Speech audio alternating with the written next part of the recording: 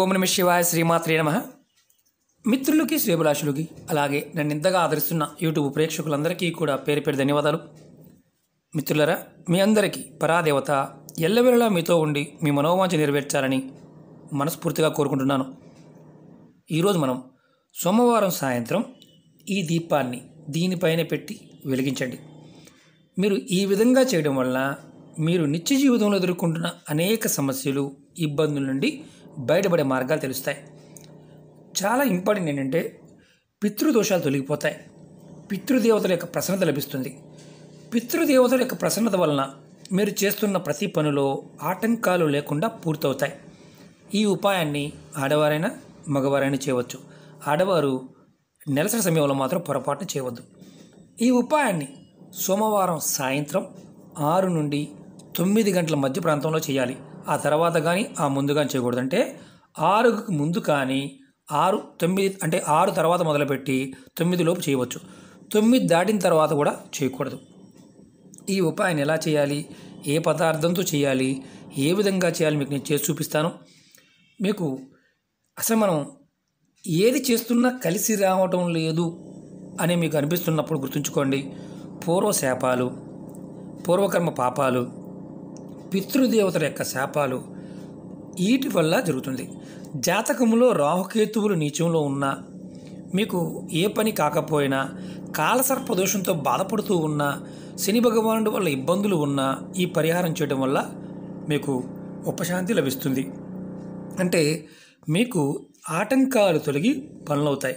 అన్నిటికంటే ము ముఖ్యమైనది ఏంటంటే పితృదేవతల యొక్క ప్రసన్నత లభించడం మీరు ఏది చేస్తున్నా కలిసి రావడం లేదు ఏ పని పూర్తి అవడం లేదు అంటే మీ జాతకంలో మీ మీద పితృదేవతల యొక్క ప్రభావం ఉందని అర్థం. వారి యొక్క ప్రభావం తగ్గి మీకు ప్రసన్నత లభించాలంటే ఈ ఉపాయాన్ని తప్పకుండా చేయండి. అలాగే కొంతమంది భయాలు ఉంటాయి.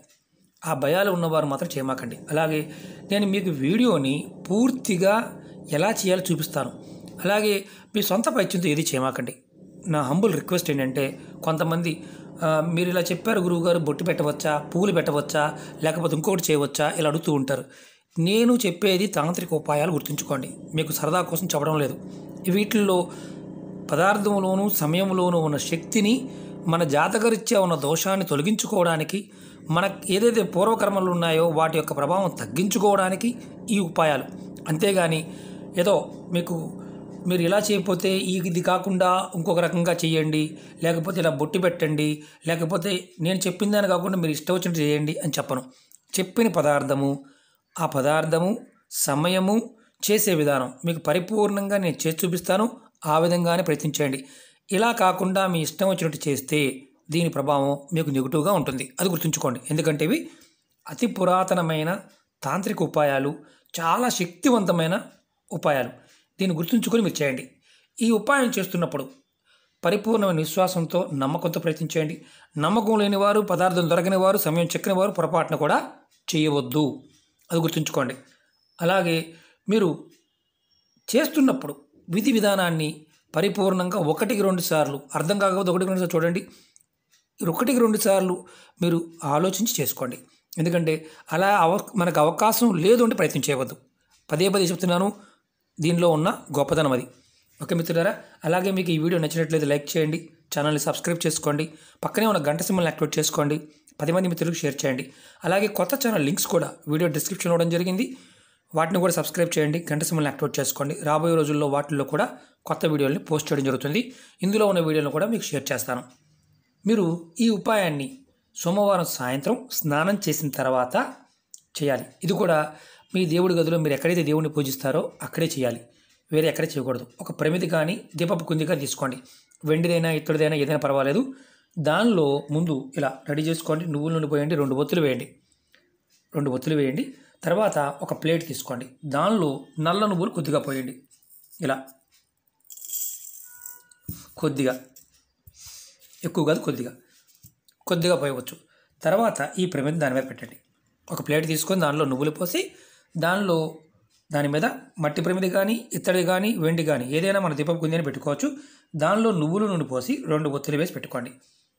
బాగా గుర్తుంచుకోండి నేను ఏ విధంగా చేస్తున్నానో ఆ విధంగానే చేయండి. అంతేగాని వేరే విధంగా ప్రయత్నం చేయవద్దు. తర్వాత ఈ ప్రమిదికి ఏదైతే మనం ప్రమిది పెట్టాం కదా ప్రమిదికి గంధాన్ని కొద్దిగా గంధాన్ని తడిపి బొట్టుగా పెట్టండి. ఇలా ఇలా బొట్టుగా పెట్టండి. కొద్దిగా. బొట్టుగా ఒకటే బొట్టు. మనం వెలిగించేదానికి ఆపోజిట్ బొట్టుగా పెట్టండి వెనక పక్కన ఇలా. గంధం తడిపి మంచి గంధం పెట్టండి. తర్వాత మీరు బొట్టి పెట్టిన తర్వాత మీరు ఎదుర్కొంటున్న సమస్యలు ఇబ్బందులు బయటపడాలని అలాగే పితృదోషాలు ఉంటే తొలగిపోయి పితృదేవతల యొక్క ఆశీర్వాదం మీకు లభించాలని మనసులో కోరుకొని ఈ దీపాన్ని వెలిగించండి. ముందు కోరుకోవాలి. కోరుకోకుండా వెలిగించకూడదు. కోరుకున్న తర్వాత దీపాన్ని వెలిగించండి. చూపిస్తాను.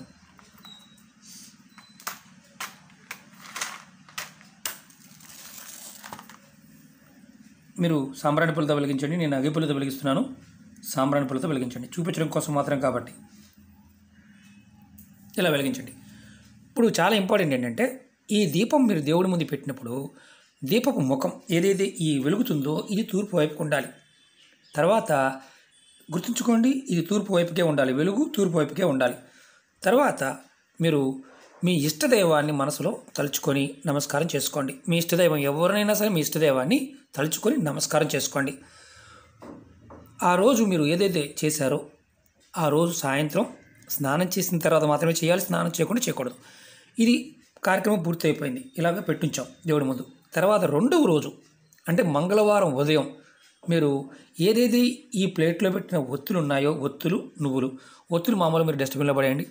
ఏదైతే నువ్వులు ఉన్నాయో ఈ నువ్వుల్ని ఏదైనా మొక్క మొదల్లో వేయండి. మీరు ఈ ఉపాయాన్ని ఐదు సోమవారాలు చేయండి. మధ్యలో సోమవారం నాడు ఎవరికైనా ఆడవారికి నెలసరి వస్తే ఆ సోమవారం ఆపేయండి. కంటిన్యూ చేయండి. అలాగే మీరు ఇప్పుడు ఒక అనుమానం వస్తుంది. గురుగారు నేను ఈ ఊర్లో ఈరోజు ఈ ఊర్లో ఉన్నాను. మరి రేపొద్దున వేరే ఊరు క్యాంపుకి వెళ్ళవలసి వచ్చింది. మరి అక్కడ చేయవచ్చా? ఎక్కడైనా చేయవచ్చు. మీరు పూజ చేసే మందిరం ఉన్నప్పుడు పూజ ఎక్కడైతే చేస్తారో అక్కడ మాత్రమే చేయాలి. మీరు అత్తగారింటికి వెళ్ళారు అక్కడ కూడా చేయవచ్చు. అన్నదమ్ముల ఇంటికి వెళ్ళారు అక్కడ కూడా చేయవచ్చు.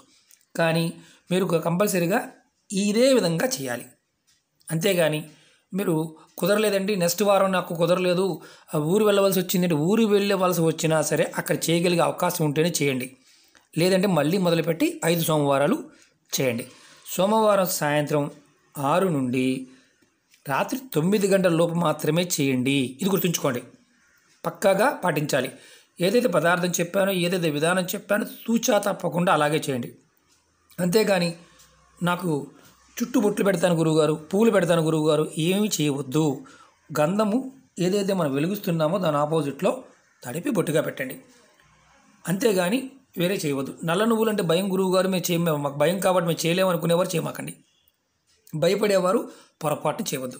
మీ సమస్యలు ఏదైతే ఉన్నాయో ఆటంకాలు తొలగిపోయి పితృదేవతల యొక్క ప్రసన్నత లభిస్తే సర్వకార్యాలు అంటే అన్ని పనులు నిరాఘంటంగా పూర్తవుతాయి. అంటే ఆటంకాలు లేకుండా పూర్తవుతాయి ఇబ్బందులు తొలగిపోతాయి దోషాలు తగ్గుతాయి. మీరు ఏది అనుకుంటుంది జరగడానికి మార్గాలు తెలుస్తాయి. ఇది గుర్తుంచుకోండి. ప్రయత్నపూర్వకంగా చేయండి. ఫలితాన్ని ఖచ్చితంగా పొందుతారు. ఓకే మిత్రులారా మీకు ఈ వీడియో నచ్చినట్లయితే లైక్ చేయండి ఛానల్ సబ్స్క్రైబ్ చేసుకోండి పక్కనే ఉన్న గంట సింబల్ యాక్టివేట్ చేసుకోండి పది మంది మిత్రులకి షేర్ చేయండి. ఓం నమ శివాయ శ్రీమాత్రే నమః.